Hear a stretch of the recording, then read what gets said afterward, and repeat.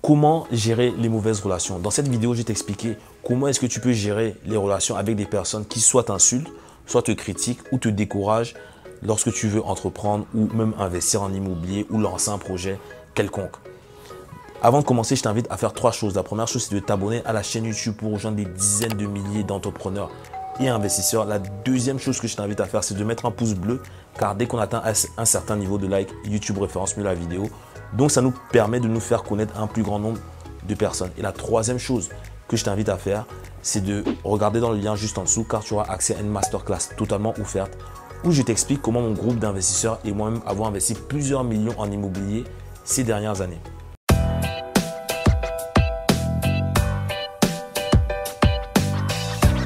Alors, comment gérer, comment faire face aux mauvaises personnes en fait? Comment gérer les mauvaises relations? Car je pense que dans ton entourage, et je pense que c'est le cas de la plupart des gens, tu as toujours une personne qui va toujours te critiquer, t'insulter ou te décourager, te dire que oui, tu es nul ou tu n'es pas capable de ci ou de ça. Comment faire pour gérer cela? Et ce type de, de personnes, ça peut être tes proches, ça peut être des amis, ça peut être des amis d'enfance, des collègues, tout ce que tu veux. Moi, je vais t'expliquer un peu certaines méthodes que moi j'ai mis en place pour vraiment me, euh, me blinder en fait si tu veux de ce type de relation là. La première chose à faire, c'est déjà d'identifier ces personnes-là. Comment est-ce que tu vas identifier ces personnes-là? Est-ce qu'il t'est déjà arrivé de discuter avec quelqu'un et qu'à la fin de la discussion, tu te sens vidé de ton énergie? Donc tu te sens, c'est comme si limite on t'avait tabassé quoi, tu vois. Genre tu discutes avec la personne et quand tu finis, tu es en mode Dieu merci, euh, c'est terminé, tu vois. Ça, c'est des signes que c'est quelqu'un qui te, voilà, qui, qui pompe ton énergie. Et ça, tu n'en as pas besoin. Parce que si tu es en relation avec quelqu'un qui, à chaque fois, te pompe ton énergie, tu vas avoir envie de rien faire finalement. Tu vois. Deuxième signe, est-ce que il t'arrive des fois de discuter avec des personnes qui ne te laissent pas parler, par exemple, ou qui te disent toujours oui, moi, je, moi, je, moi, je, et te laissent pas parler? Ça, des fois, c'est des personnes qui pense juste à elle en fait, tu vois. Qui, dès que tu vas dire quelque chose, ils vont te dire que oui, mais moi j'ai fait ci, ou moi je sais ça, etc. Ça également, c'est un deuxième signe de personne qui n'écoute pas forcément et ne s'intéresse même pas à toi finalement. Parce que si quelqu'un, tu parles à quelqu'un et que la personne ne te laisse même pas t'exprimer, c'est que voilà, la personne, ben, elle pense à surtout à elle et n'est même pas en train d'écouter ce que toi tu as à dire, tu vois. Ça, c'est le deuxième signe. Le troisième signe aussi, c'est des personnes qui jugent sans savoir. Des personnes qui jugent sans savoir. Je te donne un exemple.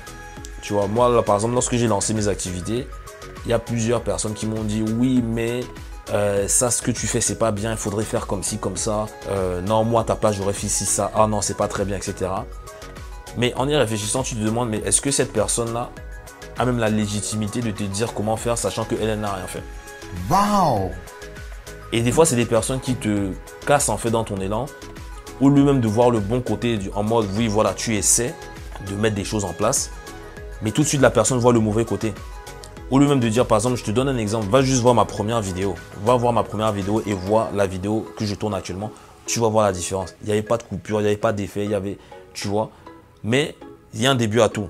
Tu vois, et c'est ce que moi j'encourage beaucoup de gens par rapport à ça, c'est que il faut toujours voir les axes d'amélioration tout en encourageant la personne tu vois. Pas dire à la personne oui, mais ce que tu fais c'est naze, etc. Parce que quand tu fais ça, tu casses la personne. Tu casses la personne et ça peut décourager la personne alors que peut-être initialement son idée elle est euh, vraiment euh, fabuleuse et qu'elle a beaucoup de motivation, beaucoup d'idées à partager, beaucoup de valeurs à apporter aux gens.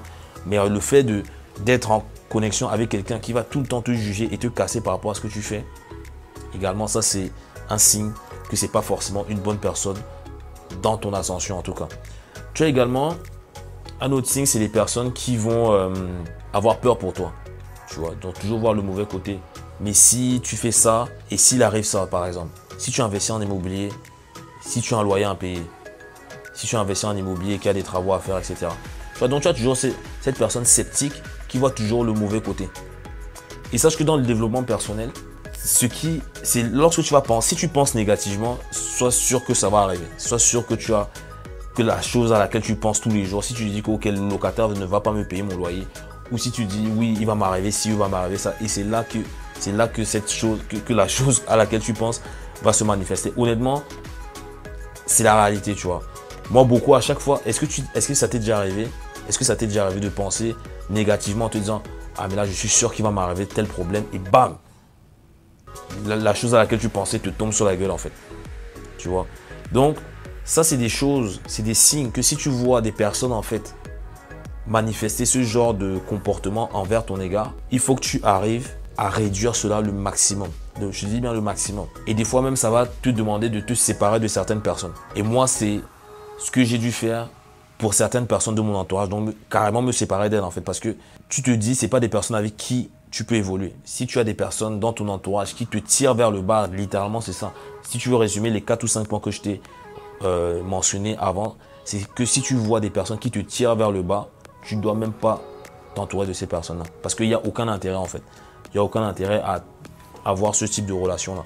Et pour moi, c'est des mauvaises relations car ça te, comment dire, ça limite le potentiel que tu as en toi. Ça limite le potentiel que tu envoies en toi. Ça limite les projets que tu as. Ça, ça limite également les rêves que tu as. Tu vois. Si demain tu veux devenir chanteur et que tu parles de ton projet à un de tes amis, tu dis, écoute, moi demain je vais devenir chanteur. Quel que soit ton âge, tu peux devenir chanteur. Il y a des chanteurs qui ont fait carrière, même à 50 ans, ils sont devenus chanteurs à 50 ans. Tu vois. Mais si tu vas partager ça à quelqu'un et que la personne se dit, ah, c'est même pas la peine et tout, oublie, euh, non, arrête ton délire, etc.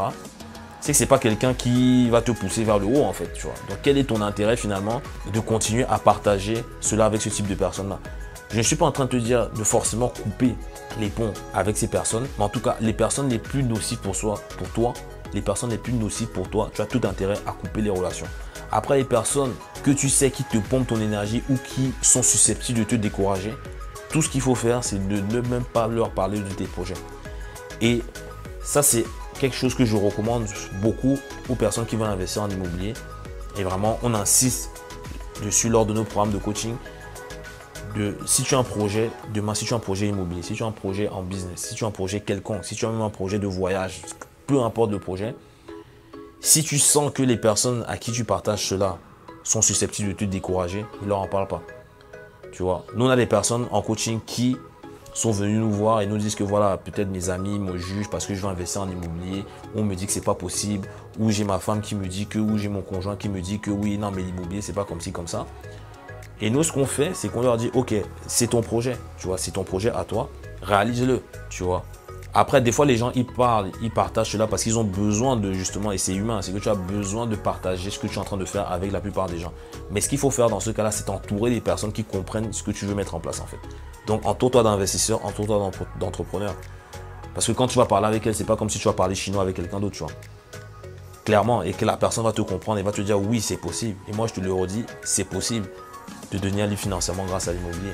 C'est possible de changer de vie grâce à l'immobilier. C'est possible de mettre ses proches à l'abri grâce à l'investissement immobilier. Tout est possible. Il faut que tu te dises quelque chose, c'est que si une personne est arrivée à faire ce que tu as envie de faire sur, cette terre, c'est que c'est possible. Rien n'est impossible, clairement. Si tu te dis, ok, quel que soit ton âge, que tu aies 18 ans, 70 ans, c'est possible de devenir libre financièrement grâce à l'immobilier. Après, selon les cas, ça va être plus ou moins difficile, mais c'est possible parce que sur Terre, il y a forcément quelqu'un qui est arrivé à ce résultat-là. Tu vois? Donc ne laisse personne mettre des freins à ce que tu as envie de faire. Ne laisse personne mettre des limites, ne laisse personne mettre des barrières à ce que tu as envie d'accomplir. Tu vois? Entoure-toi des personnes qui voient comme toi et les personnes qui ne voient pas comme toi ou qui ont des œillères se disent que ah non mais tout ce qu'on me dit ou tout ce que je vois à côté de moi c'est pas possible ou c'est parce qu'il y a une arnaque ou ceci cela. Soit tu coupes radicalement, moi c'est ce que je fais, je coupe.